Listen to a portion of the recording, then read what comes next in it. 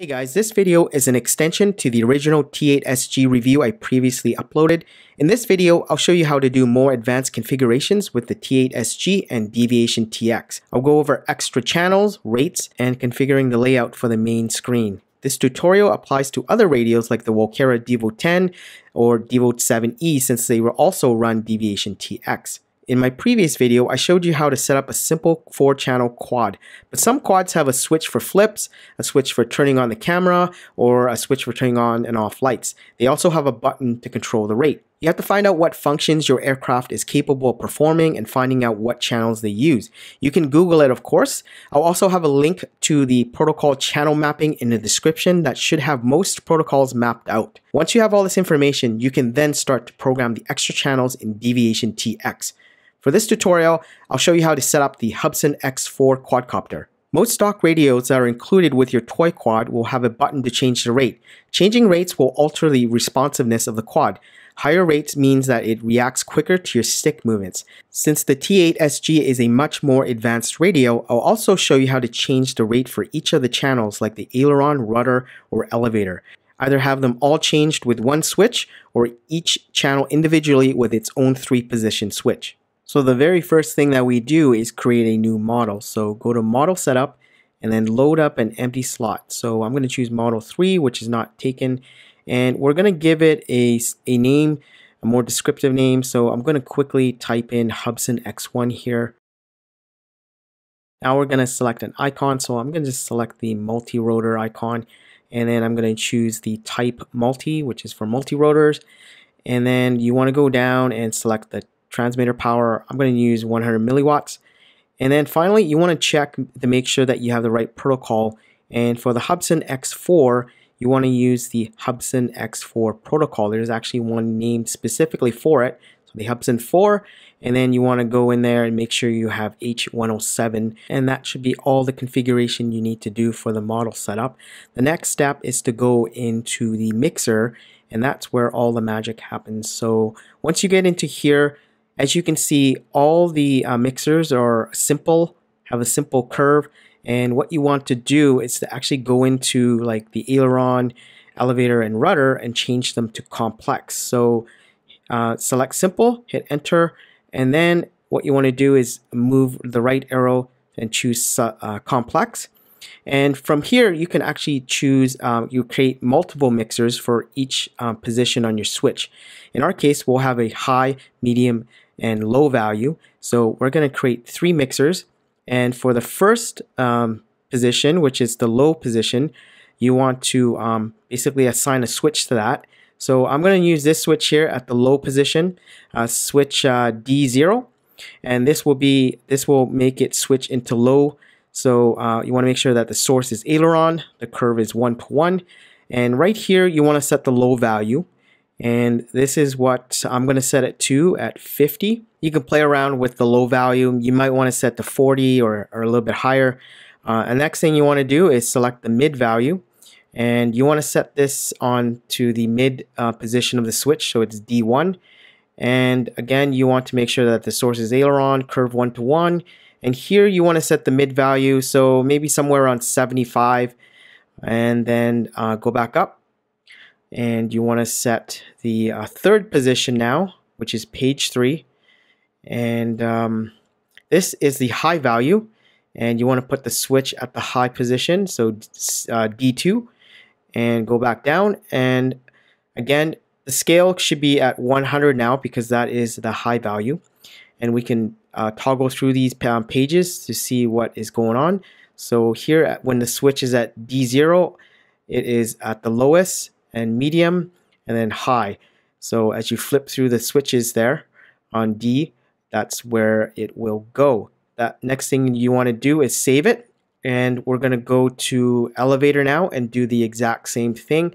So uh, select complex and we want three mixers for the high, medium, and low. And for the first one, uh, we're to use, I'm to use the exact same switch, but you can assign them to different switches if you like. So if you want to alter the elevator, you can use another switch and rudder can use another switch, but I'm to use the same switch to modify all three channels. So uh, make sure the source is elevator And for the low position, I'm going to set it at 50, just like the aileron, I set it at 50. So pretty much everything I will set it at 50 for the low value, and then 75 for the mid value, and then 100 for the high values. So for the mid value on page 2, you want to set the switch. Again, I'm going to use the exact same switch, so switch D1, and I'm going to make sure that the source says elevator, curve 1 to 1, and the mid values, like I said before, was 75. And the third mixer for uh, elevator will be the high position and we're going to use switch D2 and now we're going to set the value to be 100 which is at the max value. And once again we're going to make sure that the settings are correct so the first mixer, second mixer, and third mixer. Now after you've done all the settings make sure that you save it and finally you want to set the uh, three mixers for rudder as well and you want to go through the same process.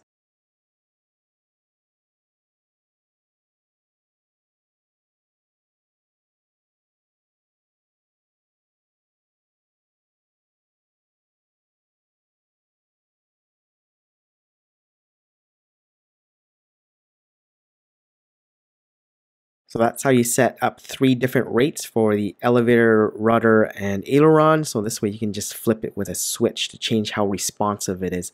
Now I'm going to show you how to set up the extra channels. So if your quadcopter, say, has a, a channel specifically used to turn on lights or to uh, allow you to flip the quadcopter or turn on a camera, this is where you can do that. So in the case of the Hubsan X4, channel 5 is used to um, flip the quadcopter. So what I'm going to do is go into channel 5 here and select a simple configuration. And for the switch, I'm going to use uh, switch A at the far right here. And it's going to be uh, SWA0.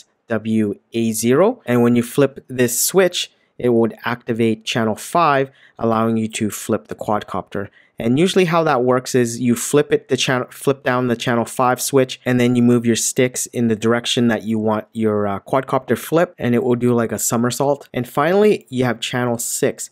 For the Hubsan X4, channel 6 activates the uh, LED light so that I can turn it on or off.